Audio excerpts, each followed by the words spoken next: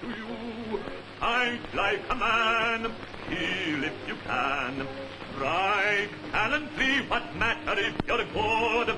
Devil must not be bored. Since beauty worships struck, tonight with luck, you'll be a fair reward. Lance Fairfax.